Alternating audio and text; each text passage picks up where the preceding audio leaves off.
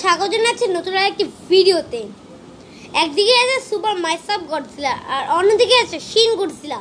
এর দুই টাইটানের মধ্যে লড়াই হলে কে জিততে পারবে তা আজ এই ভিডিও মাধ্যমে জানবেন। প্রথমে আমরা জানব শিন গডজিলা নিয়ে কিছু তথ্য। শিন গডজিলা। শিন গডজিলাকে আমরা সেই জন্য মতো Shin Godzilla two zero forty মুভিতে দেখতে পেয়েছিলাম। শিন গডজিলা অ্যাথমিক ব্রেন অন্য অন্য অ্যাথমিক ব্রেন থেকে অনেকটাই আলাদা।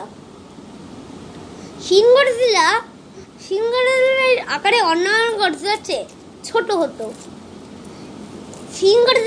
শিন গডজিলার লেজ লেজ দিয়ে এরা ফেলে দিতে পারবে অন্যান্য ডাইজেনদেরকে শিন গডজিলা তাও বেশি করে অন্যান্য ডাইনোসরদের অন্যান্য গডজিলার সঙ্গে লড়তে পারবে না এই শিন গডজিলারা শিন গডজিলা নিজের শিন গডজিলা নিজের মুখ দিয়ে অ্যাটমিক ব্রেন ছুটতে পারবে তা নয়। লেজ বা প্রত্যেকটি নিউক্লিয়ার পালস এবার এদের লেজে কাটা দিয়ে অ্যাটমিক ব্রেন ছুটতে পারবে। তাই একে কেউ পেছন থেকে আক্রমণ করতে পারবে না এই শিন গডজিলাকে। এতক্ষণ ধরে আমরা শিন গডজিলা কিছু তথ্য। এবার জানব আমরা মাইসাপ গডজিলা নিয়ে। এই মাইসাপ গডজিলা এমন গডজিলা যার height Shin Godzilla, mecha Godzilla legendary Godzilla Godzilla আর্থের চেয়েও অনেক বড় এর হাইট এই গডজিলা অফ সুপার মাইসাপ গডজিলার হাইট অনেক বেশি।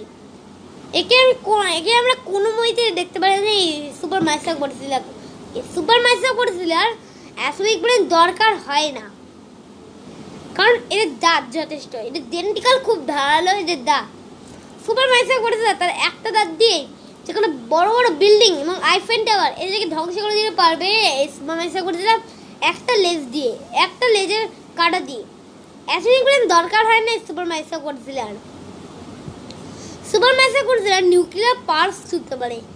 তার শিন গডজিলাকে পুরো গিলে নেবে। শিন গডজিলা সব টাইটানদেরকে গিলে নিতে পারে, কিন্তু কিন্তু সুপার মাইসা গডজিলার হাইট এত বড় যে কোনোদিনও শিন গডজিলা বা মাইসা গডজিলাকে গিলতে পারবে না। ভিডিওটি ভালো লাগলে একটি সাবস্ক্রাইব করে পাশে টাকা বেল বাটনটি টিপতে ভুলবেন না। ভিডিওটি ভালো লাগে লাইক করবেন। আবার দেখা হবে পরের ভিডিওটা ততক্ষণ ভালো থাকবেন, সুস্থ থাকবেন।